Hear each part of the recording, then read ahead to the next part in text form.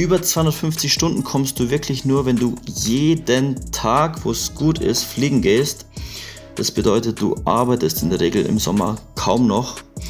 Und dann habe ich herausgefunden, wow, es ist August und ich habe ein komplettes Flugburnout. Also ich hatte im August keinen Bock mehr auf Fliegen. Und dann waren wir halt an der Grenze. Jeder hat sich da gefreut und ich war da wie so ein, ein Geist. Ich wusste, ich muss jetzt funktionieren. Ich muss jetzt da meine 270 fliegen, sonst bin ich in der Wertung hinten. Aber ich habe da keinen Spaß mehr gehabt.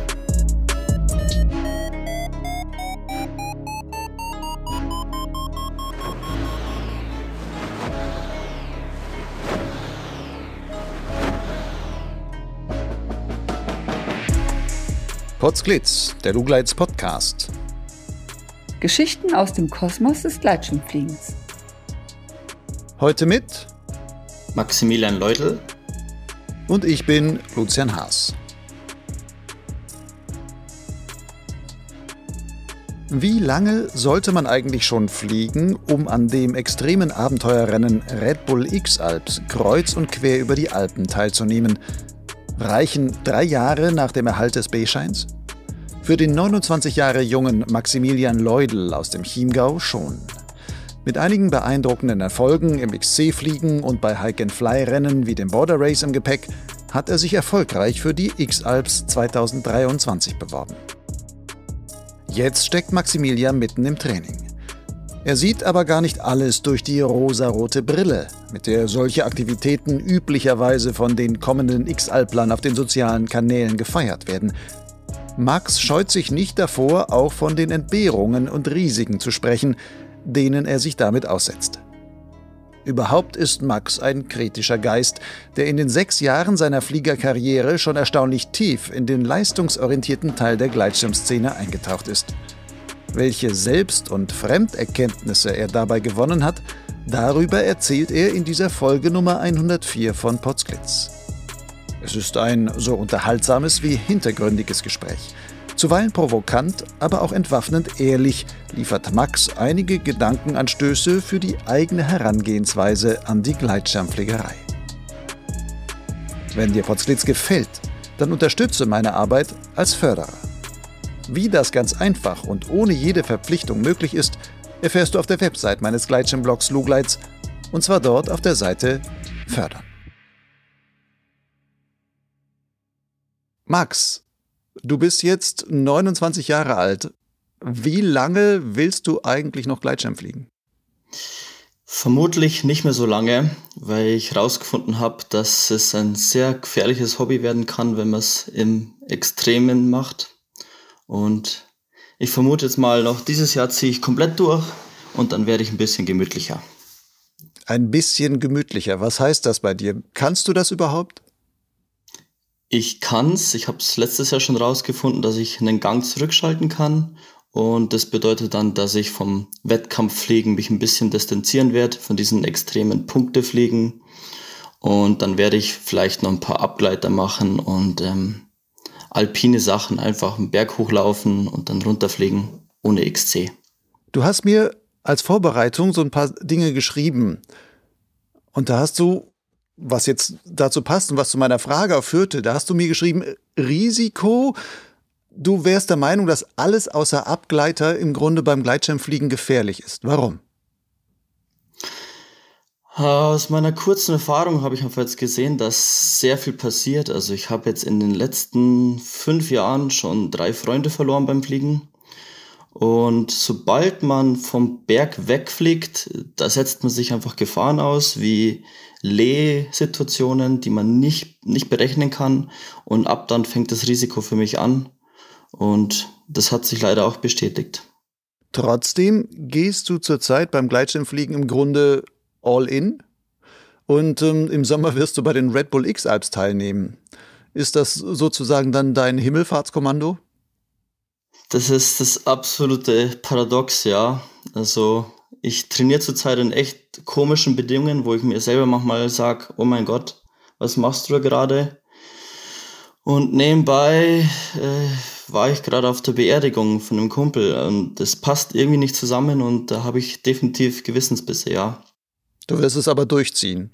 Auf jeden Fall, ja. Die Motivation ist da. Ich bin nicht ein Typ, der halbe Sachen macht. Also ich ziehe das jetzt komplett durch und versuche natürlich, das Risiko so gering wie möglich zu halten, wobei wir alle wissen, dass das ja nicht so einfach ist. Kann man an einem solchen Wettbewerb teilnehmen und ein Risiko reduzieren? Nein, ganz sicher nicht. Ich habe mit vielen Leuten jetzt schon geredet, die bei den X-Alps waren und man sagt zwar immer, okay, da wird schon auf Sicherheit geschaut und so, aber jeder, der da irgendwie dabei war, der weiß ganz genau, dass da wird volle Pulle geflogen und Risiko ist da einfach, mit, man, man rechnet mit dem Risiko. Ich meine, diese Erkenntnis, dass Gleitschirmfliegen vielleicht gefährlich ist, wirst du ja jetzt nicht erst in den letzten zwei Monaten bekommen haben, schätze ich mal. Wie bist du dann trotzdem auf die Idee gekommen, dich für ein so riskantes Abenteuer eigentlich einzulassen und dich eben halt zu bewerben und um an den Red Bull X Alps teilzunehmen? Sehr gute Frage. Es ist die, die Herausforderung. Ich habe was gesucht, an dem ich persönlich wachsen kann. Und da dachte ich mir, okay, X-Alps, das ist das ultimative Goal im Hike and Fly, Gleitschirmfliegen. Und mein Ziel ist es, da unfallfrei teilzunehmen. Und das war eben die Idee dahinter, dass ich wachse persönlich und keinen Unfall baue. Das ist so, ja. Könnte man nicht auch wachsen und keine Unfälle bauen, ohne an einem solchen Wettbewerb teilzunehmen? Das stimmt, aber ich, ich glaube, ich habe herausgefunden, dass ich so ein Typ bin, der ab und zu Herausforderungen braucht. Das ist einfach mein Charakter. Du hast jetzt gerade mal, ich glaube, zwei Jahre den B-Schein. Wenn jeder das so hört oder denkt, wird sagen, wie kann einer mit eigentlich so wenig Erfa Erfahrung, zumindest auf dem Papier scheint das erstmal so, dass man sagt, wie kann einer mit so wenig Erfahrung es überhaupt schaffen, dass er da ausgewählt wird? Was hast du gemacht, dass das geht? Ja, genau, also das stimmt wirklich. Äh, seit zweieinhalb Jahren habe ich jetzt den B-Schein. Den habe ich bei Michael Sommerauer gemacht und ich kann mich noch gut erinnern, ich habe den Somi da auch mal angehauen, ob er mir einen Softcheckle einbauen kann in mein Gurtzeug. Und der hat mich ausgelacht und meinte nur, ja, willst du jetzt da echt 60 Gramm sparen oder so, weil für ihn war das eine andere Welt. Ja, und dann hat er den Softcheckle eingebaut und dann habe ich die Border Races gemacht. Bin dann eben zur deutschen Liga hinzugekommen und XC fliegen. Und dann hatte ich viel mit dem Ferdinand Vogel dann Kontakt. Und ich glaube, der hat dann so ein bisschen gesehen, dass ich recht sicher fliege und dass ich dann irgendwie doch schon Erfahrung dazu gewonnen habe die letzten zwei, drei Jahre. Und so habe ich mich dann getraut, mich da anzumelden und so wurde ich auch genommen, weil die Leute gesehen haben, okay, irgendwie muss es der irgendwie ein bisschen können. so ist es dann gelaufen, ja. Hast du denn einen sportlichen Hintergrund? Also auch, dass du schon an den Border Races so teilgenommen hast und da auch ähm, gewonnen hast? Ja, ganz großes Thema. Und zwar bei mir ist so, ich bin mein ganzes Leben schon sportlich gewesen. Und was mir zugute gekommen ist, ich kitesurfe seit über zehn Jahren und da hat man schon immer diesen Schirm über, über einen selbst. Und du schaust nie hoch, weißt aber immer genau die Position, wo dieser Schirm ist. Und das ist beim Gleitschirmfliegen halt komplett das Gleiche. Und das heißt, ich habe einfach von diesen ganzen anderen Sportarten davor total viel mitgenommen. Und darum war auch mein, mein Werdegang relativ flott beim Gleitschirmfliegen. Was von den anderen Sportarten, ich meine, beim, Kite, beim Kiten kann man sich das vorstellen, um, wie stark da die, das ist, was man quasi übertragen kann an Wissen oder an Körpergefühl, beziehungsweise auch Schirmgefühl, wie du nennst. Man weiß sofort, wo ist der Schirm eigentlich, obwohl man ihn gar nicht im Auge hat. Welche anderen Sportarten hast du gemacht und was haben die dann auch noch zu deinem Gleitschirmfliegen quasi beigetragen? Ich segel ganz gerne und von dem her hatte ich dieses ganze Wetter-Meteo-Wissen schon. Ich weiß immer, wie der Wind hier geht, wo ich wohne, im Chiemgau. Und das ist einfach, seit 15 Jahren schaue ich da immer, wie, wie geht der Wind, wo. Da habe ich sehr viel über das Wetter eben gelernt, ähm, von der Leichtathletik her weiß nicht, seit der, seit der Grundschule bin ich in der Leichtathletik gewesen, daher kommt dieser Laufpart bei mir, diese ganze Motorik, das habe ich praktisch vielleicht über Skifahren irgendwie gelernt.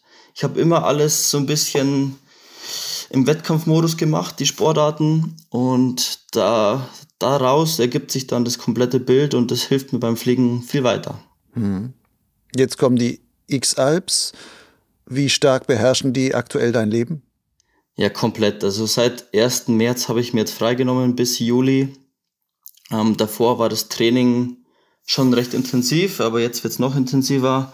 Und ich habe jetzt schon gemerkt, dass ich sozial so ein bisschen vereinsame gerade, weil ich gehe halt in die Arbeit ein bisschen, dann komme ich zurück, setze mich aufs Rad, auf die Rolle, gehe auf den Berg und Sozialleben ist bei mir recht wenig geworden. Ich bin eigentlich ein sozialer Typ. Es ist sehr ungewohnt jetzt für mich, dass ich kaum noch Leute sehe. Ich war jetzt gerade am Wochenende in Bassano, das war das erste Mal, dass ich wieder Leute sehe ich sag mal so, ich bin jetzt zu 95% bei den X-Alps und die restlichen 5% sind vielleicht noch die Momente, wo ich nicht, wo ich mir immer ein bisschen Auszeit nehme. Wie trainierst du dafür? Was machst du da? Ich habe jetzt schon recht viel probiert, dieses ganze Standardprogramm mit äh, Laufen, Radfahren und so weiter. Habe ich probiert, aber wir hatten jetzt mal neue Ansätze mit Hypoxietraining. Da ist jemand auf mich zugekommen, hat mich gefragt, so, Herr Max, du fliegst doch dann bestimmt auf 4000 Meter in Chamonix. Wie schaut's denn bei dir aus? Sollen wir da nicht mal dich in die Höhlenkammer stellen? Hast du da keine Vorzüge dann beim Fliegen, wenn einfach dein Körper auf die Höhe eingestellt ist? Und das habe ich wirklich jetzt mal probiert und ein bisschen durchgezogen. Das heißt, du gehst in so eine Höhenkammer, da wird dann der Luftdruck gesenkt auf äh, circa 3000 Meter. Dann kriegst du so eine Kontrollnadel auf dem Finger der dieses Sauerstoffgehalt ähm, im Blut misst. Und dann trainierst du da. Und du merkst schon, es ist viel anstrengender, als wenn du jetzt normal laufen gehst. Und der Körper sollte eben dann diese Hormone bilden, Erythropoietin, die dann dafür sorgen, dass das Gehirn, äh, dass der Sauerstoff äh, angereichert wird im Blut. Und das war jetzt mal mein Ansatz. Der kommt ja schon aus dem Leistungssport. Ich dachte, jetzt vielleicht lohnt sich das ja fürs Fliegen zu probieren. Es ist aber sehr umständlich mit der Höhenkammer, darum mache ich das jetzt nicht so oft. Ich gehe viel laufen jetzt wieder, einfach ohne Höhenkammer. Das ist mein Ansatz jetzt wieder. Höhenkammer ist ähm, in der Kammer, kannst du aber auch Sport treiben? Bist du da mit dem Radl auf der Rolle auch in, in der Höhenkammer oder gibt es da ein Laufband, auf dem du da rumläufst oder sitzt man da rum und ich bin jetzt auf 3000 Meter? Ja, genau. Du hast praktisch entweder mit einer Atemgasmaske erzeugst du diesen Sauerstoffmangel oder eben eine riesen Höhenkammer und da sind die ganzen Ergometer drinnen, also Lauf, Laufband, alles, so Stairmaster. Da kannst du dich richtig vernichten. musst du das denn finanzieren? Also musst du dann zahlen? Da, was kostet eine Stunde Höhenkammer? Eine super interessante Frage. Ich wurde kontaktiert von diesem Unternehmen, hab's dann auch probiert, kostenlos aber ich bin bei Sponsoren so ein bisschen ganz, war ich, ich bin sehr gern selbstständig und ich lasse mir nichts bezahlen und ähm, ich habe dann gesagt, ich will nichts gesponsert bekommen. Ist äh, übrigens auch bei den Schirmen so ein bisschen das Thema. Ich will einfach komplett selbstständig sein und ich will auch niemals in meinem Schirm eine Marke kleben haben, hinter der ich nicht 100% stehe. Darum, ich finanziere mich selbst. Baust doch deinen eigenen Schirm am liebsten? Würde ich gern machen, aber ich glaube, dafür ist die Zeit nicht. Außer Höhenkammer, hast du denn so einen richtigen Trainingsplan? Also hast du einen vielleicht ausgebildeten Trainer, der dir sagt, ich stelle dir genau was zusammen, was du machen musst mit Intervalltraining und Kurz- und Langstrecke und ähm, was auch immer über die Woche? Da sind auch Leute auf mich zugekommen und haben mir das angeboten. Ich habe mir das auch mal alles angehört aber im Endeffekt habe ich herausgefunden, ich bin so sehr mein eigener Mensch oder so sehr mein eigener Herr, dass ich mir das selbst zusammengebaut habe. Ich habe sehr viel Literatur gelesen und ich habe einen Trainingsplan, der ist allerdings für mir selber. Ich hoffe, dass meine ganze Erfahrung der letzten 20 Jahre, sage ich jetzt mal, dass ich die ausbezahlt mache, dass äh, das auch ohne professionellen Trainer funktioniert. Und hast du auch noch irgendein spezielles Ernährungsprogramm? Ja, ich bin äh, Vegetarier und versuche so viel zu schaufeln wie nur geht, weil ich wiege äh, 62 Kilo gerade. Und ähm, ich muss unbedingt ein bisschen schwerer werden. Meine Ernährungsberaterin hat, hat gemeint, wenn man, jetzt, wenn man mich nicht so auf 67 kriegt, dann breche ich zusammen bei den X-Alps. Und ich glaube das nicht ganz, aber es könnte schon passieren. Und ich, ich esse einfach so viel wie es geht, irgendwie vegetarisch mir alles zusammen zu basteln und ja. Dann brauchst du aber auch für die X-Alps wiederum einen Supporter, der dich auch vegetarisch versorgen kann, der überhaupt weiß, wie das vernünftig funktioniert? Oder bereitest du alles vor, dass du sagst, hier, ich habe schon für 14 Tage irgendwelche vegetarische Essensrationen bereitet, von denen ich weiß, ich komme da auf 5000 Kilokalorien pro Tag? Ja, das ist ein voll witziges Thema. Mein Supporter, Simon Raffiner, das ist so voll der Vorarlberger und ähm, voll urig halt und isst halt alles Mögliche und so. Und wir haben da mal so, waren wir auf der Hütte und dann hat er mega aufgekocht und dann sind wir drauf gekommen, ja, halt, ich bin ja Vegetarier. Also es gibt schon so ein paar Sachen, die man jetzt beachten muss, aber das kriegen wir gut hin. Wir kochen ein bisschen vor. Ich ernähre mich ganz viel von Reis und das, das klappt.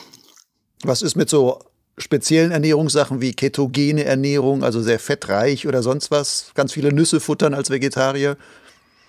Habe ich schon gehört, habe ich noch nie probiert bei mir ist echt seit zehn Jahren das Thema, dass ich, mein Stoffwechsel ist so hoch, ich, ich muss einfach nur schauen, dass ich so viel wie möglich esse, weil wir wissen ja alle, dass umso größer der Schirm, umso besser fliegt man im Endeffekt auch. Und mit 62 Kilo, da fliegst du immer die Essgröße. Äh, am liebsten würde ich irgendwie 80 oder so wiegen. Dann könnte ich auch einen, einen guten Schirm fliegen von der Größe her. Das wirst du nicht schaffen. Was nimmst du für einen Schirm für die X-Alps? Und die Frage, die muss ich gestehen, habe ich so oft gehört, das ist krass. Ich war jetzt eben im Bassano und dann trifft man halt ein paar Leute und das ist so, bevor man ein Hallo hört, hört man so, was fliegst du? Und mir ist aufgefallen, die Leute konzentrieren sich extrem auf diese Frage, welchen Schirm man fliegt. Ähm, jeder, der ein bisschen sich besser auskennt, der weiß, dass eigentlich fast alle X-Alp-Schirme gleich gehen, von der Leistung her. Und dann geht es dann nur noch darum, welcher dir wirklich besser taugt. Und bei mir war es so, ich bin eben nicht gesponsert, das ist eine freiwillige Entscheidung. Und ich hatte das Glück, dass ich einfach mal jeden einzelnen Schirm im Leben, also von den X-Halb-Schirmen durchtesten durfte. Und die gehen alle voll gut. Mir taugt jeder Schirm. Ich bin überhaupt nicht anspruchsvoll. Aber es ist wirklich mal so, dass der Schirm, den ich schon am längsten geflogen bin, das ist einfach die Marke Ozone. Und da weiß ich einfach vom Gehirn her, da brauche ich am wenigsten Gehirnbandbreite, den zu steuern. Der läuft einfach komplett im Hintergrund. Jetzt fliege ich seit fünf Jahren Ozone. Und so wie es ausschaut, werde ich den Zeolite fliegen. Und da weiß ich einfach, dass der mich auch nach fünf Tagen Nonstop fliegen nicht überfordert. Das ist mein Plan jetzt. X-Halbs heißt ja, hatten wir schon gesagt, Fliegen auch unter sehr extremen Bedingungen. Trainierst du das auch im Vorfeld? Ja, leider.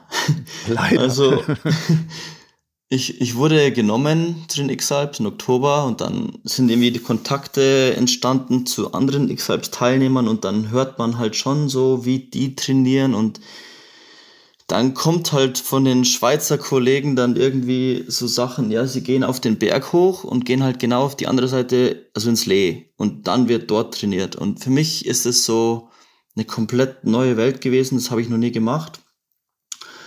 Ich weiß schon, dass ich im Lee fliegen kann, aber dass ich mich jetzt extra der Gefahr aussetzen muss, das, das war noch neu für mich. Und jetzt ist es einfach so gekommen, dass man, also ich schaue, Wetterbericht schaue ich jetzt gar nicht mehr an und ich gehe einfach fliegen, wenn, wenn ich mich dafür entscheide. Und dann steht man einfach mal auf dem Berg bei 35 km/h bis 40 km/h und dann haut man sich da raus. Und es funktioniert. Ich habe jetzt schon ein paar Situationen gehabt, wo ich mir gedacht habe, oh mein Gott, die, die Zahlen auf dem XC-Track, die, die stimmen jetzt fast nicht mehr. Wenn dann, wenn dann über 100 km/h auf dem XC-Track steht, dann denkt man sich, oh mein Gott, was machst du da gerade? Sprich mit Rückenwind fliegen. Ähm, ich versuche jetzt so gut wie möglich zu trainieren, so gut wie möglich das sicher zu gestalten, aber viel, viel Sicherheit ist da nicht mehr dabei ab und zu. Nee. Eine der Schwierigkeiten ist ja auch heil wieder runterzukommen, also irgendwo in den kleinsten Flecken einen Platz noch zum Landen zu finden, wenn du da in irgendein Tal runtergespült wirst oder sonstiges. Trainierst du auch sowas? Jetzt hast du gerade gesagt, okay, extreme Bedingungen, aber halt dieser so, so Top-Landetraining oder um, eng Landetraining oder wie auch immer man es nennen will? Ja, voll. Mein bester Freund, der Marco Dörner, der wohnt direkt am Chiemsee und da gibt's manchmal so eine schöne Westwind-Föhn-Konvergenz und ich lande immer in seinem Garten und jedes Mal, wenn ich da lande, da schüttelt er den Kopf, weil es hat, es ist schon manchmal eng geworden und ja, der bangt schon so ein bisschen um mich, aber bis jetzt habe ich es unter Kontrolle und ja doch, klar, Top-Landings, Kriegel-Maurer-Landings gegen Hang und so habe jetzt den ganzen Winter trainiert, schön im Schnee, dass man sich nichts bricht, weil wenn ich jetzt ausfall, das wäre schon, boah, das wäre fies. ja, doch, komplettes Programm mhm. habe ich schon hinter mir. Und dabei auch irgendwelche blöden Erlebnisse gehabt? Ähm, ich habe in meiner ganzen Fliegerkarriere noch kein einziges großes blödes Erlebnis gehabt und das ist eine Sache, da bin ich ein bisschen stolz drauf. Andererseits frage ich mich, wie lange ist es noch so? Also ich habe jetzt noch nie irgendeine Landung gehabt, wo ich mir was gebrochen habe oder generell. Ich habe ich hab mir noch nie was ge getan beim Fliegen. Es ist noch nie was passiert. Und ja, das ist ein gruseliges Thema, darüber zu reden. Man soll den Teufel ja nicht an die Wand malen. Okay, dann lassen wir den Teufel mal beiseite. X-Alps heißt auch, das kostet ja eine ganze Menge. Jetzt hast du vorhin gesagt, ich will keine Sponsoren haben. Wie finanzierst du das dann? Ah, ich arbeite volle Pulle. Ich bin immer so ein Typ, der im Oktober, November, wenn es dann so draußen so neblig wird, dann sitze ich mich auf den Arsch und arbeite einfach, was das Zeug hält. Und ich habe eben paar so kleinere Unternehmungen am Laufen und ich versuche mich da irgendwie durchzubeißen mit meinem eigenen Geld. Ich finde, das hat, das ist ein bisschen authentisch, wenn ich halt nicht irgendeine Marke vertritt, die mit mir jetzt gar nichts zu tun hat. Ähm, ich versuche auch so ein bisschen beim Team zu sparen. Also Markus Anders, mein Nachbar hier in Grassau, der hat mir von Kosten verzählt von über 10.000 Euro und da kommt man auch gut hin. Ähm, ich habe ein recht kleines Team mit zwei Leuten. Das heißt einfach nur mein Hauptsupporter, der Simon und eine Physio, die Franziska ich glaube, wir sind recht bodenständig alle und da kriegen wir das hin, dass wir jetzt nicht 10.000 Euro auszugeben. So versuche ich das, ja. Selbst arbeiten, gute Zeitanteilung, dass man auch wirklich effektiv ist mit dem Arbeiten. Das ist mein Plan. Aber wenn du jetzt sagst, okay, ich habe keine Sponsoren, ich bereite mich jetzt oder ich habe mir jetzt von März bis Juni, Juli auf jeden Fall komplett dafür quasi freigenommen, da wirst du ja wahrscheinlich vor lauter Training auch nicht mehr so viel zum Arbeiten kommen. Eigentlich muss man das ja auch quasi als das entgangene Einkommen dann quasi auch als Kosten mitrechnen. Dann wirst du doch schnell bei 10.000 Euro sein, schätze ich mal. Das stimmt. Es ist sogar so, dass ich überlege mir oft, die, ob, der, ob so der Flugtag sich lohnt, weil jeder Flugtag kostet dann so und so viel Geld, wo man nicht arbeiten kann. Also bei mir ist so, ich, ich kann mir immer schon frei einteilen, wann ich arbeite. Und jeder sagt, ja, das ist ja voll der Luxus und so, du kannst bei jedem, Tag, jedem Wetter fliegen, was du willst und suchst dir nur die Hammertage raus. Ja, schon, aber jeden einzelnen Tag, wo ich nicht in der, nicht für mich arbeite, verliere ich Geld. Und das kann in manchen Monaten, wie zum Beispiel Juni oder Mai, das ist ein teurer Monat für mich, weil das Hobby kostet mich dann mein komplettes Einkommen, ja. Gleitschirmfliegen ist ja eh nicht billig. Jetzt hast du im vergangenen Jahr auch mal ähm, die komplette deutsche Liga mitgeflogen. Also du warst bei allen Wettbewerben, die es gab. Ich glaube, vier oder fünf sind das dann, oder? Genau, richtig, ja. Was hat dich das gekostet? Hast du das mal überschlagen? Ja, ich habe es überschlagen. Ähm, wenn man wirklich von Anfang an bis Ende durchfliegt, das bedeutet, man, start, man zahlt die Startgelder, so circa 100 bis 300 Euro pro Comp dann zahlst du die Verpflegung dort, dann zahlst du die Unterkunft dort, die Anreise und in der German Open letztes Jahr in Alger, Spanien, zahlst du natürlich auch den Flug hin und so weiter. Und da kommst du definitiv äh, für eine ganze Saison, nur für den du ja auch über 5000 Euro. Also ja, es ist kein billiges Hobby und wenn man sich dafür anschaut, was man dann gewinnt, und zwar irgendeinen Blumentopf am Schluss, dann lohnt sich das finanziell nicht, unser, unser Hobby, leider. Würdest du denn sagen, von der Erfahrung, die du da gewonnen hast, jetzt bei dieser äh, Ligasaison, war das ein gutes Investment? Ja, voll. Ist zwar teuer bezahlt, die Erfahrung, aber guter Rat ist halt mal teuer. Ich habe so viel dazugelernt, dass sich die Strapazen, mit denen meine ich jetzt mal Parawaiting oben am Startplatz, weil man wird, man wartet ja relativ viel, ähm, haben sich bezahlt gemacht, ja. Was hat ein Pilot wie du vom Kopf fliegen? Ja, also bei mir ist so, ich fliege immer alleine rum, äh, hier so in den Alpen. Und da lernt man zwar schon viel, aber man sieht nicht, wie man effektiv fliegt. Und wenn du jetzt mal auf eine Comp gehst, wo einfach 130 Teilnehmer sind, dann sind da auch noch 50 Freiflieger dabei, zum Beispiel in Kössen. Und dann hast du einfach 200 Leute, die den Himmel abfliegen. Und wenn man dann einfach mal nach rechts und links schaut, dann sieht man, okay, der steigt, da fliege ich jetzt auch hin. Und das würde man alleine nie sehen. Das heißt, Kompflegen ist essentiell wichtig für, fürs Vorankommen, wenn man dann einfach sieht, ähm, wo die steigenden Linien sind. Und alleine würdest du das in zehn Jahren nicht rausfinden. Kompfliegen heißt auch Pulkfliegen, eng miteinander, wenn du so ein einsamer Wolf bist normalerweise in der Luft. Wie bist du damit zurechtgekommen?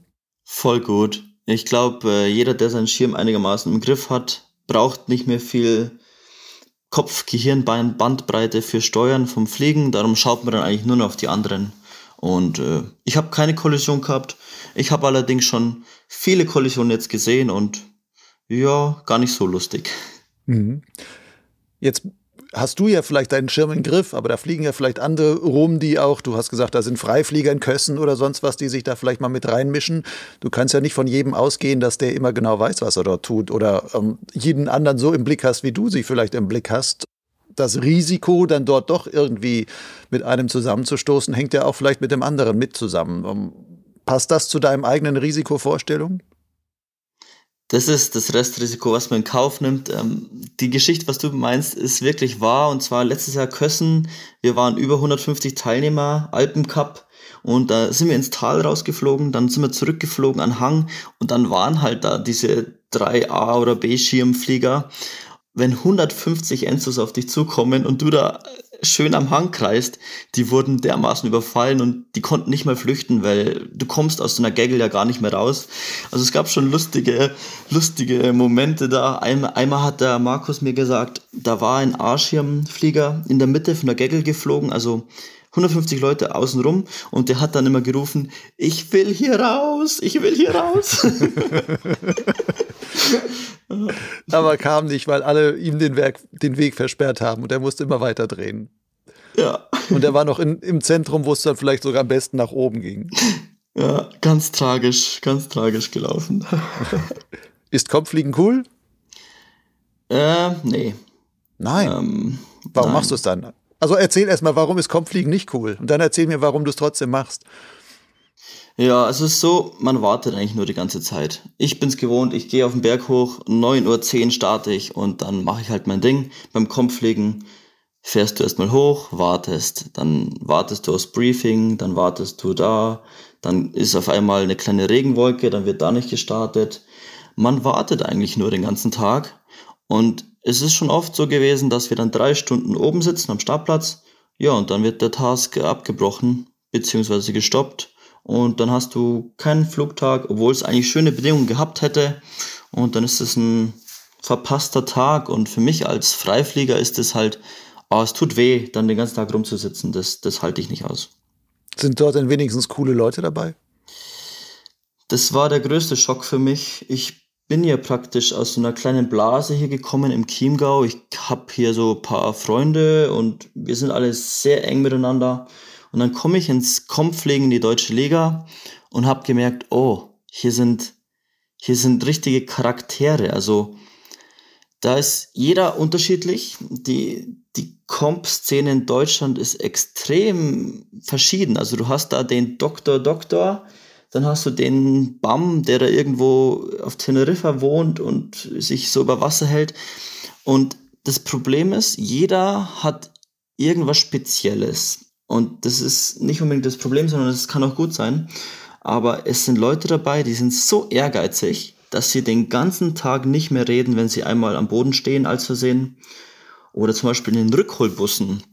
Bei mir ist so, wenn ich lande, ich freue mich mittlerweile oft, dass ich einfach mal gut gelandet bin. Und dann sitzt du in dem Rückholbus und da ist Totenstille, dann wird da noch rumgeflucht. Die Stimmung ist manchmal sehr bedrückt, weil weil die Leute so einen Ehrgeiz entwickeln und das macht irgendwie auch die Stimmung manchmal ein bisschen kaputt beim Kopflegen. Wenn man, wenn man nicht erfolgreich war, dann ist für die irgendwie so der, der Tag gestorben. Ja. Mhm. Wenn du so schnell so aufgestiegen bist, man jetzt zwei Jahre B-Schein und sowas, du musst ja auch ehrgeizig sein. Wie machst du das, ehrgeizig zu sein, ohne Muff zu werden, wenn du dann abstehst? Lucia, du hast mich gut durchschaut schon. Also irgendwie muss man ja Ehrgeiz haben, wenn man da so mitmacht und mitzieht.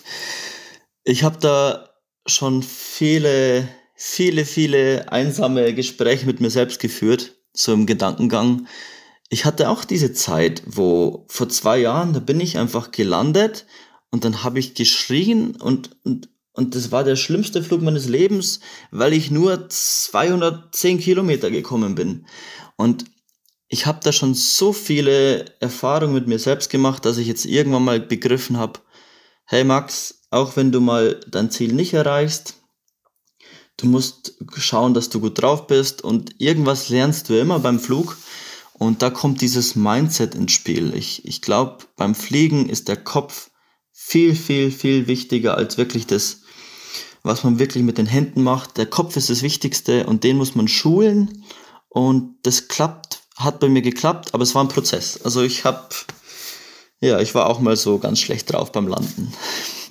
Wie hast du dieses Switchen geschafft? Was hast du da in deinem Mindset geändert, dass du vom gefrusteten Lander zum sagen wirst, ach, ich habe mal wieder eine Erfahrung gemacht, ist gut?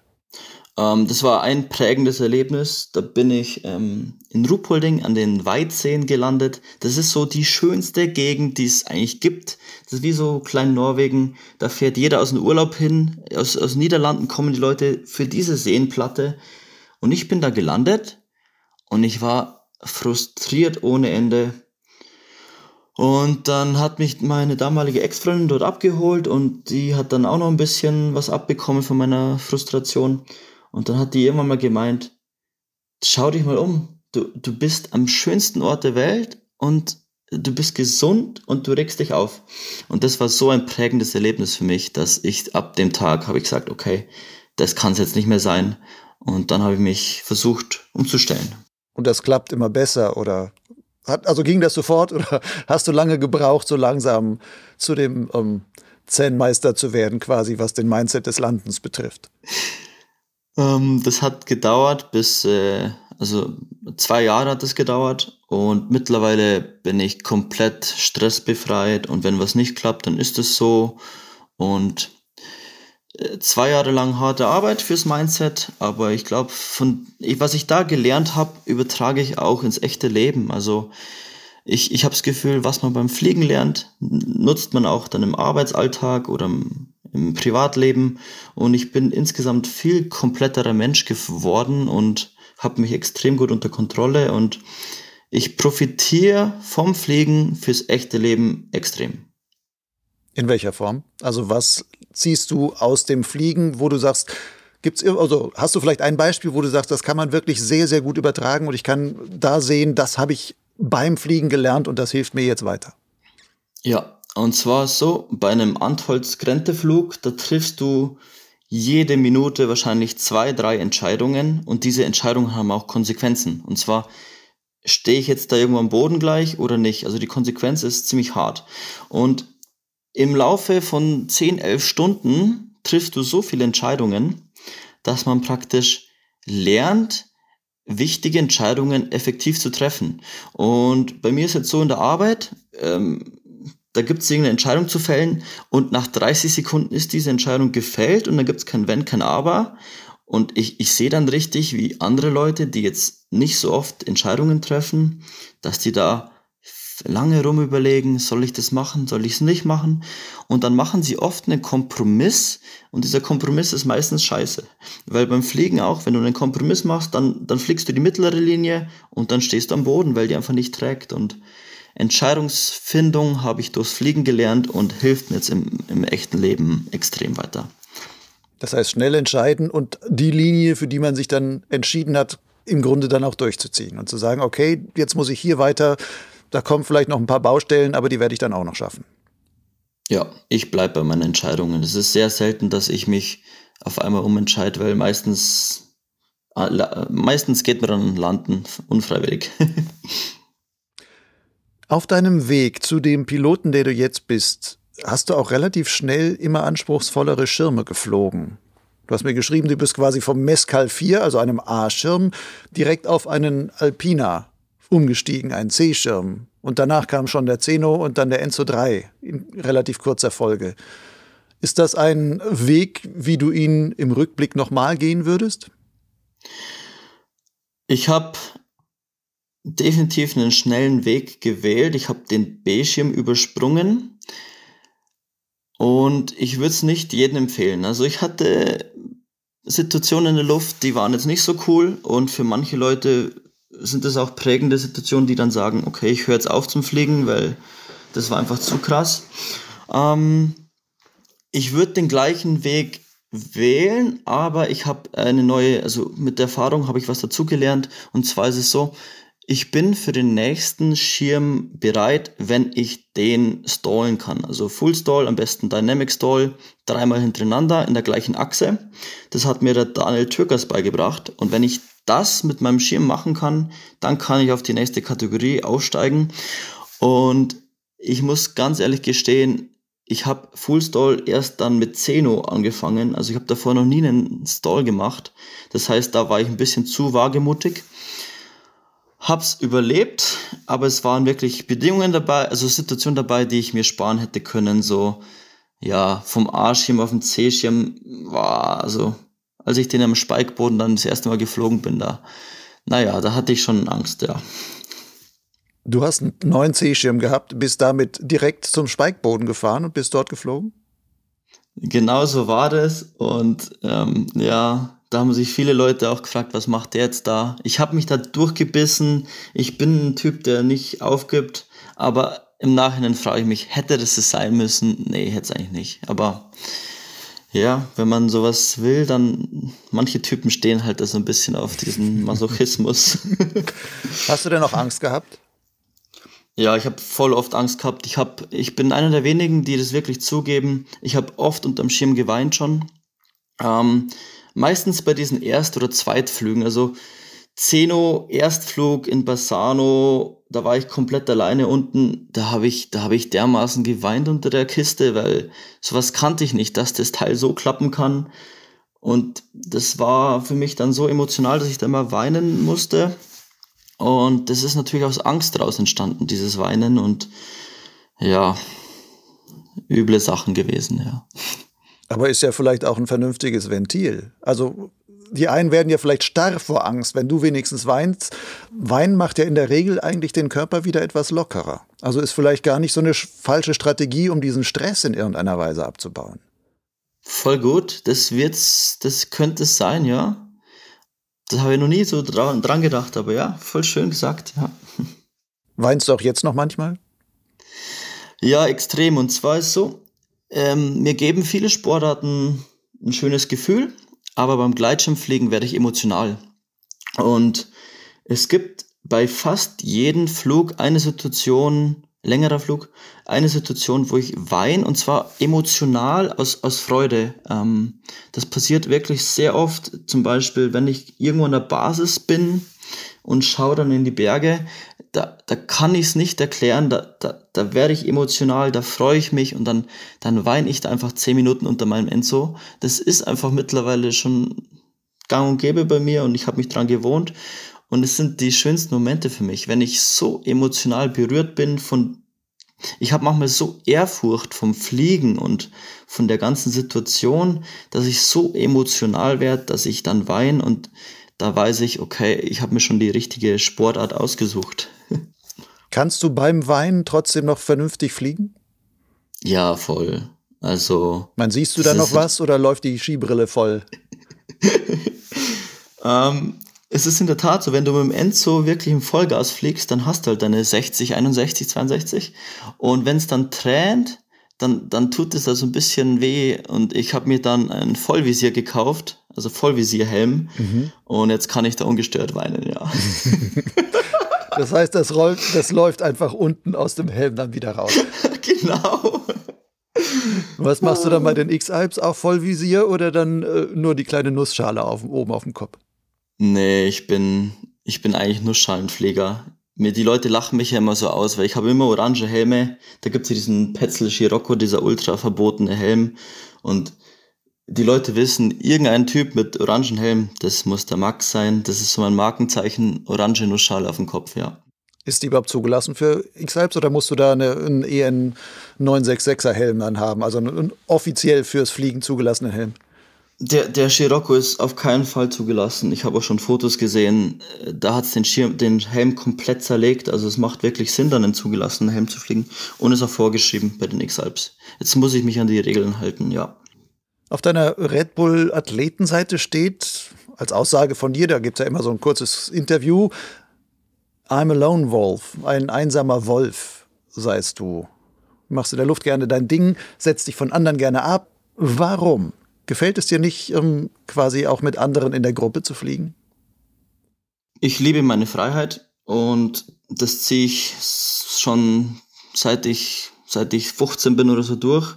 Ich lasse mir ungern was sagen und darum mache ich immer schon mein eigenes Ding. Ich bin ein bisschen eigen und das hat auch negative Seiten. Also wenn du jetzt mit mir fliegen gehen willst, ähm, ist es manchmal sehr kompliziert, weil ich, ich sag in der Regel zu, ja, ich halte mir die Option offen und in der Früh sehe ich dann, okay, ähm, das Wetter hat andere Pläne und dann, dann bin ich einfach nicht am Startplatz und ähm, ich mache immer schon meine eigene Suppe und das, das Gute ist das, durch das wachse ich auch ich habe viel gelernt, dadurch alleine zu fliegen. Ich komme sehr gut ohne Thermikanzeiger klar.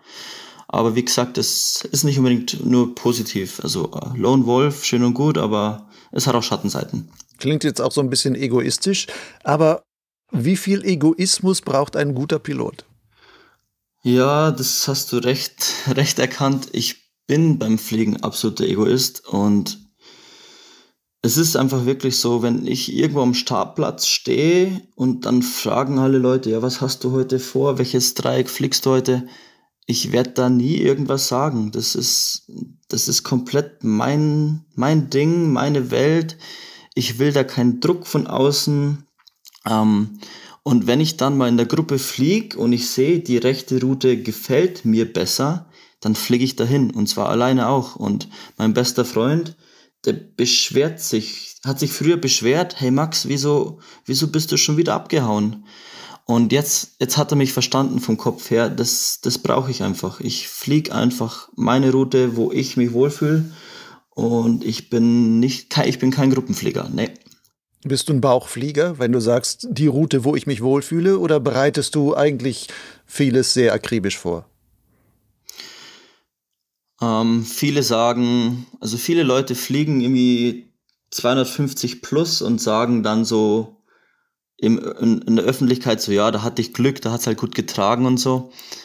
Ich bin der Meinung, Fliegen ist überhaupt kein Glück. Ähm, die Natur kann berechnet werden und ich bin extremer Theoretiker. Das heißt, den ganzen Winter plane ich meine Routen, fliege die im Simulator meistens ab und im Sommer fliege ich die Route dann so nach, aber habe praktisch noch diesen Spielraum vom Wolkenbild. Also die Intuition ist mittlerweile schon so gereift bei mir, dass ich eigentlich von der Intuition her die Route weiß. Jetzt bräuchte ich nicht mehr so viel planen wie früher, aber dieses extreme Planen über die Winter hinweg, die, die haben mir viel beigebracht.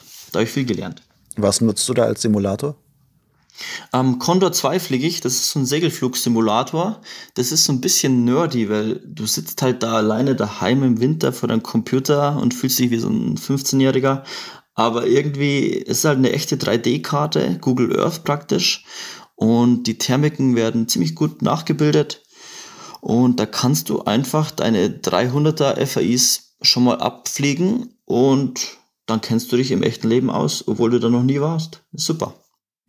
Und obwohl das ein Segelflugsimulator ist, kann man davon auch viel fürs Gleitschirmfliegen draus ziehen?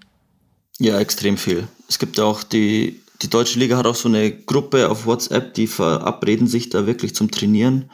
Und die fliegen dann alle zusammen und machen da Wettkämpfe. Es ist, Segelfliegen ist mehr oder weniger das Gleiche, nur schneller. Bist du auch dabei bei dieser Gruppe oder als Lonely Wolf sagst du, nein, ich, ich sitze alleine vor meinem Condor und, und fliege da als gefühlter 15-jähriger Nerd meine 300er einfach solo ab? Ich bin dabei und die ersten Rennen wurden schon organisiert. Die Schweizer Liga macht das übrigens auch. Also da schwören ziemlich viele drauf. Doch, doch, ist gut. Und wo drin bist du besser? Gleitschirmfliegen oder Condor-Simulator fliegen? Ich habe schon ein paar Abstürze gehabt auf Condor. Also im echten Leben bin ich besser, definitiv. auf wie viele Flugstunden kommst du eigentlich so im Jahr? Ja, also ich bin einer der wenigen Piloten, die versucht, weniger zu fliegen. Ähm, das, das hört sich total komisch an. Die meisten wollen immer mehr fliegen, mehr fliegen. Ich habe letztes Jahr echt drauf geachtet, dass ich mal nicht zum Fliegen gehe, weil ich rausgefunden habe, alles über 250 Stunden ist ungesund. Also es war einfach so, dass ich 2021, da hatte ich irgendwie 250, 270 Stunden und da habe ich gemerkt, da hast du keine Zeit mehr für die Familie, da hast du keine Zeit mehr für die Arbeit und über 250 Stunden kommst du wirklich nur, wenn du jeden Tag, wo es gut ist, fliegen gehst und das wirklich lange. Das bedeutet, du arbeitest in der Regel im Sommer kaum noch. Und dann habe ich herausgefunden, wow, es ist August und ich habe ein komplettes Flugburnout. Also ich hatte im August keinen Bock mehr auf Fliegen. Und dann waren wir halt an der Grenze und jeder hat sich da gefreut und ich war da wie so ein, wie so ein Geist. Ich wusste, ich muss jetzt funktionieren. Ich muss jetzt da meine 270 fliegen, sonst bin ich in der Wertung hinten. Aber ich habe da keinen Spaß mehr gehabt. Und da hatte ich ein komplettes Burnout, habe dann irgendwie zwei Monate, drei Monate Fliegen aufgehört. Dann war ich einmal kurz im Basan und dachte ich mir, nee, ähm, ich muss jetzt weiterhin Pause machen. Das hat wirklich den ganzen Winter gedauert. Und dann bin ich letztes Jahr nur noch 200 Stunden geflogen und ich glaube 200 Stunden ist so die goldene Zahl, wo man sagt, okay, du, du hast Schirmkontrolle, aber es ist ja noch so, dass du ein bisschen nebenbei leben kannst und vielleicht auch mal ein bisschen arbeiten gehen kannst im Sommer. In einer E-Mail hier im Vorfeld hast du mir geschrieben, jeder, der mehr als 200 Stunden pro Jahr fliegt, hat einen Schlag. Ja, hört sich voll schlimm an, ist Wie viele Leute mit Schlag gibt es in der Szene? Also über 250 Stunden kommen schon, schon viele, die da im XC vorne mitfliegen. Also ich kenne langsam alle und über 250 Stunden, das sind sehr spezielle Leute, die wirklich für den Sport leben. Und da ist das Problem dann so, die machen ihr Leben vom Fliegen aus. Also Fliegen ist das Wichtigste, das ist der Lebensmittelpunkt. Und wenn die nicht fliegen, dann sind die unglücklich. Und ich habe das auch total also ich habe das wirklich rausgefunden, dass alle Leute, die über, über 250 Stunden fliegen, die, die haben irgendein Problem, wage ich jetzt mal zu behaupten. Die, die flüchten sich vor irgendwas, weil ich glaube nicht, dass die Leidenschaft wird nicht besser, umso mehr du fliegst. Also über 250 Stunden, das ist, das ist irgendwie ungesund. Nee. Das ist wie, wie ein Junkie, der dann einfach noch mehr braucht, aber vom nächsten Schuss nicht mehr bekommt, so ungefähr. Komplett so, ist so. Du hast auch geschrieben, ich kenne keine Sport-Community, die so komisch ist wie die Flieger. Und ich mache fast jeden Sport, den es gibt, hast du mir geschrieben. Ist ja interessante Sichtweise auf die Fliegerei. Ich meine, du bist auch einer, der sehr, sehr viel da fliegt und so weiter. Was ist so komisch an den Fliegern? Also, unter Fliegern, da findest du nur, also nur komische Leute. Zwar positive auch gesagt. Ich meine, komisch heißt ja nicht unbedingt negativ. Jeder Flieger ist ein absoluter Individualist. Das ist kein Sport, den du jetzt einfach mal so 0815 machst. Das heißt, allein wenn du schon überlegst, fliegen zu gehen, dann bist du irgendwie so freiheitsliebend, individuell, auch oft Egoisten, weil es ist kein Mannschaftssport. Und ich habe herausgefunden, dass zum Beispiel eine, eine Surf-Community oder eine, eine Segel-Community, das sind viel gechilltere Leute, und ich würde sagen, die Akroflieger haben so ein bisschen eine gute Stellung, die sind normale Leute, aber sobald du in die XC-Richtung gehst, da, da fällt dir auf, dass jeder Mensch ein absolutes Unikat ist. Das macht das Ganze auch wieder interessant, aber es ist manchmal nicht so einfach, mit dieser Community da klarzukommen. Jeder hat so eine krass eigene Meinung. Ich meine, schau dir mal auf Facebook so die Kommentare an über so Gleitschirmthemen. Da wird, da sind solche wilden Leute dabei. Also manchmal, manchmal wundert es mich, ja. Und das ist bei anderen Sportarten nicht so. Ich meine, in sozialen Medien kriegt man alles Mögliche um die Ohren gehauen. Und jeder traut sich da Sachen reinzuschreiben, die er im normalen Gespräch wahrscheinlich nicht so sagen würde. Also nicht jeder, aber sehr, es gibt leider ziemlich viele Charaktere, die dann in diese Richtung manchmal tendieren, wenn sie einfach nur in so ein, äh, eine soziale Blase da hineinschreiben dürfen. Würdest du sagen, aber trotzdem beispielsweise Surfer? Ich nehme jetzt mal als Surfer, ich nehme an, du meinst die Wellenreiter, die das machen. Ja. Ähm, die sind ja im Grunde auch Individualisten, weil jeder reitet seine Welle, ja. Und man reitet jetzt auch nicht zu dritt nebeneinander auf einer Welle, sondern es ist immer klar, okay, man wartet die Wellen ab und einer schafft es am besten aufs Brett und die anderen drehen dann ab, weil sie sagen, okay, das ist jetzt die Welle von dem, man will sich halt auch nicht in die Quere kommen oder sowas. Aber trotzdem ist da jeder schon ähm, surf verrückt irgendwie und ähm, auch in so seinem ganz eigenen Space. Da würdest du trotzdem sagen, die Flieger sind noch mal was anderes. Ja, weil beim Surfen ist so, nach deiner Session sitzt du dich an den Strand hin und dann machst du dir dein Bier auf und redest zusammen. Wir Flieger, wir landen Viertel nach acht, nach 20 Uhr irgendwo in irgendeinem dünn, dusteren Tal und müssen dann drei Stunden noch zurück ähm, trampen. Und diese Leute, die, die müssen irgendwie speziell sein, dass denen das gefällt. Und darum, die Flieger-Community ist definitiv speziell und das hat schon auch seinen Reiz, ja. Auf dieser, also wenn man so sagen will, nach oben auf eine Richterskala der, äh, des Schlaghabens des, der, der Flieger, wo würdest du dich da einordnen? Auf 50 Prozent, auf 90 Prozent? Also ich habe definitiv selber auch einen Schlag, das habe ich ja schon zugegeben, dass ich so ein bisschen mein eigenes Ding immer gern mache und so. Ich habe das Gefühl, ich bin aber noch relativ normal. Also ich bin genau bei 50 Prozent. Das ist die goldene Mitte, das ist so mein Lebensmotto. Nichts zu extrem, nicht zu wenig. Ähm, genau bei 50 Prozent bin ich und ähm, so lebe ich ganz gut und so komme ich auch mit anderen Leuten ganz gut klar.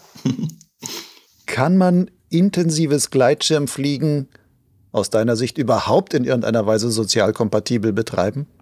Nee, geht nicht. Das, da musst du da musst du, wenn du all in gehen willst und da vorne mitspielen willst in der XC-Wertung, dann musst du dein Ding da durchziehen und da, da ist einfach nicht viel mit Leuten mit, mit reden. Vielleicht diese fünf Minuten am Startplatz, aber jeder, der da irgendwie ein bisschen ernster dabei ist, der schaut da vorher lieber noch Wetter an, anstatt da mit anderen Leuten redet. Also man muss all in gehen, wenn man da dabei sein will, ja. Und wenn man als, dann Leute noch als Freunde hat, sind das Leute, die auch noch fliegen, mit denen man dann also weiß, die sind in demselben Mindset wie ich.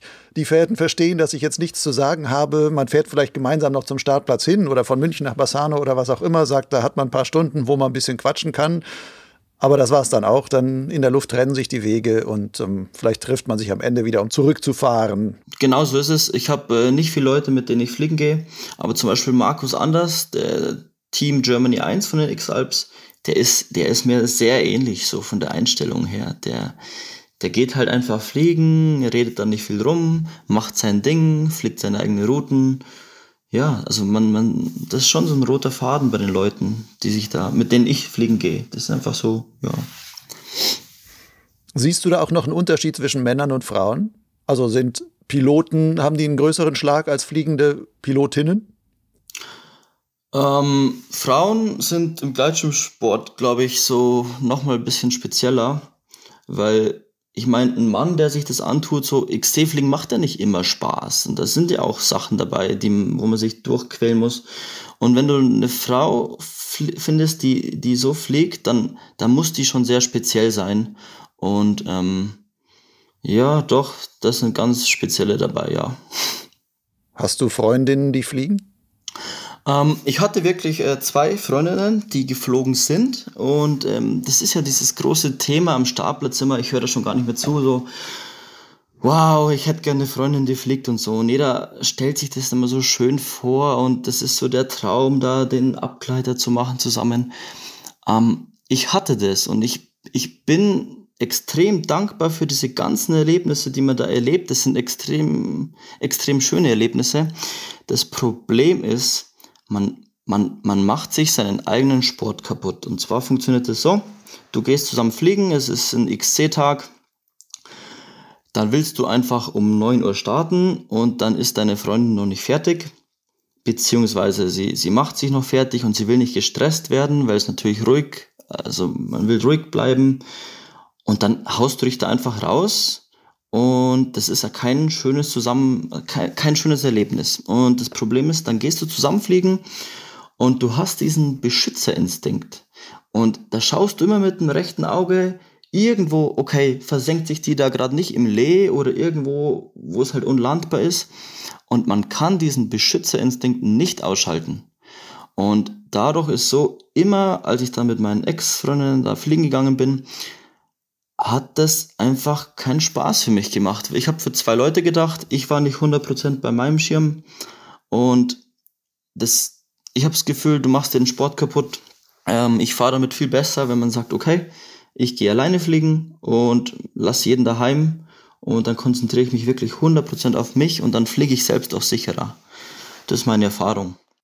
Wir haben vorhin über Mindset gesprochen. Du könntest ja auch den Mindset ändern und sagen, okay, wenn ich, zumindest an den Tagen, an denen ich mit meinen Freundinnen, wenn du eine hättest, die jetzt auch noch fliegt, ich gehe mit der fliegen, ähm, dann mache ich es halt wirklich als, sehe es als gemeinsames Erlebnis. Und dann stelle ich quasi meinen sportlichen Anspruch zurück und sage, das Schöne ist ja dann, ihr vielleicht zu helfen, in der Thermik da hochzukommen oder sonstiges. Und ähm, da quasi ein bisschen nicht den Lonely Wolf zu spielen, sondern den, den Leitwolf, der dann den anderen irgendwo hinführen kann.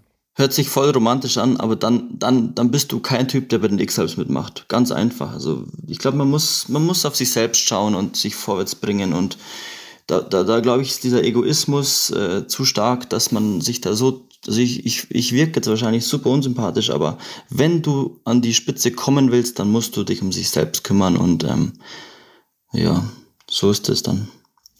Wie viel Selbstkasteiung gehört dann auch dazu? Ähm, was bedeutet das? Selbstkasteiung. Ah, das ist ähm, ein alter religiöser Begriff, wo Mönche sich früher kasteit haben. Sie schlagen sich quasi selber oder bestrafen sich selber oder machen es sich selber besonders schwer. Sie wollen körperliche Schmerzen spüren und sonstiges, um ähm, mit dem Höheren in Kontakt zu treten. Also im letzten auf Sport übertragen wäre, okay, du musst ungeheuer viel investieren und dich dir selben vielleicht auch körperliche Schmerzen zuführen beim Training oder was auch immer, um eben diese höheren Leistungen zu erreichen. Voll schöner Begriff, Lucian, cool. Ähm, da gehört sehr viel dabei dazu. Und zwar, ich merke es jetzt bei mir selber, so die Leute fragen mich, hey Max, du, morgen habe ich Geburtstag, geh mal, geh mal feiern und so. Und ich, ich würde da super gerne mitgehen auf die Feier, aber so, so bist, so gibst du nicht 100 Prozent. Und ich habe mich jetzt schon oft dabei erwischt, ich sag die schönsten Events jetzt ab, weil ich daheim auf der Rolle sitze. Ich, ich muss gestehen, Weihnachten habe ich irgendwie Mittag mit der Familie verbracht und auf Nacht drei Stunden auf der Rolle, Indoor-Training. Und das ist, glaube ich, dieses Selbstbestrafen, was man machen muss, damit du wirklich nach oben kommst. Was denkst du, wenn du dann so drei Stunden auf der Rolle sitzt und eigentlich weißt, ich könnte jetzt auch auf einer Party sein? Ich habe das Ziel vor Augen. Ähm, ganz klipp und klar das Ziel treibt einen an. Und wenn du denkst, äh, nee, da verpasse ich gerade was, dann bist du einfach nicht diszipliniert genug. Nee, also diese Selbstdisziplin habe ich gelernt und ich frage mich, also als ich mich bei X-Hubs angemeldet habe, da war das entschieden und seitdem gibt es kein Zurück mehr und das ziehe ich durch. Das, da muss man diszipliniert sein. Was ist dein Ziel für die X-Alps? Voll interessant, mein Supporter meinte, ich, ich würde so gern auf dem Floß landen das war aber im Endeffekt sein Ziel, das ist gar nicht mein Ziel. Bei mir ist so, ich habe schon schlechte Erfahrungen gemacht bei Rennen. Ähm, ich ich mache mein ganzes Leben schon Wettkämpfe und ich hatte einfach ganz üble Wettkämpfe, wo, wo ich nichts draus gezogen habe, wo ich einfach nur eine schlechte Zeit gehabt habe. Das bedeutet, mein, mein absolutes Ziel für die X-Hypes ist eine schöne Zeit zu haben, wo ich in, in drei, vier Jahren sage, okay, damals, das war cool das will ich, äh, also ich will ein schönes Rennen haben und ein, zu einem schönen Rennen gehört bei mir auch, dass ich so ein bisschen so einen Magic Move oder sowas mache. Also sowas darf man eigentlich nicht ankündigen und so, aber ich würde gerne irgendwas ein bisschen Spezielles machen, wo so mein Charakter unterstreicht. Okay, da hat er, da hat er jetzt halt irgendeine andere Route gemacht, die jetzt eigentlich die anderen nicht fliegen würden. Das sind so die, die schönsten Rennen für mich, die Wettkämpfe, die, wo so der Charakter durchkommt von jemandem. Von deiner bisherigen Gleitschirmkarriere, gibt es da Momente, wo du gesagt hast, oh, das war ein Magic Move, den du quasi da schon mal gemacht hast? Ja, voll witzig. Also genau letztes Jahr erst so im Mai, da, da war die erste Ausgabe von einem Hike and Fly Rennen, das heißt X-Race Salzkammergut. Und da waren halt die ganzen Locals dabei, die da halt seit 30 Jahren wohnen und der Veranstalter ist auch direkt vor Ort und fliegt super gut. Und ja, ich bin halt auf den Berg hochgegangen und die Leute haben schnell, schnell gemacht und haben die Flugroute an die, an die, an die Straße angepasst. Also die Leute sind so geflogen, dass sie immer diese Straße zum Landen im, im Kopf hatten. Naja, und ich bin halt da das erste Mal geflogen und wie gesagt, Intuition und ich habe mir das Wolkenbild angeschaut. Ja, und dann bin ich halt da voll in die Pampa geflogen, bin die wildeste Route hintenrum über die Berge geflogen und da hat super getragen. Ich dachte gar nicht an Landen, das war einfach alles super. Und dann bin ich am ersten Turnpoint gelandet und dann habe ich diese Tafel nicht gefunden zum Unterschreiben. Und dann dachte ich mir, oh mein Gott, jetzt habe ich mir den falschen Turnpunkt eingespeichert. Und das war der Loser, glaube ich, ne? Der erste genau, Turnpoint. Genau, der Turnpoint Loser. Dann dachte ich mir, scheiße, jetzt bin ich echt falsch. Naja, und dann habe ich halt so, bin ich da rumgewandert und auf einmal ist da so ein Auto angerast gekommen und dann steigen da zwei Leute aus. Hey, du bist ja viel zu schnell wir haben die Tafel noch nicht mal aufgebaut. und es, es, gab praktisch noch keine Verpflegungsstation, kein gar nichts, weil, weil die Leute haben niemals gedacht, dass man da so schnell hinkommen kann. Und der komplette restliche Wettkampf, also ungelogen, jeder einzelne andere ist diese Straße, an der Straße notgelandet. Und die Locals haben dann zu mir auch gesagt, so, wo, wo du geflogen bist, da, da würde ich niemals reinfliegen, weil du da halt irgendwie drei Tage rausgehst zu Fuß. Und das ist dieser Vorteil, wenn man, wenn man erstens nicht local ist und zweitens, wenn man einfach so ein bisschen so seinen eigenen Kopf hat und sich nicht an andere Leute hält.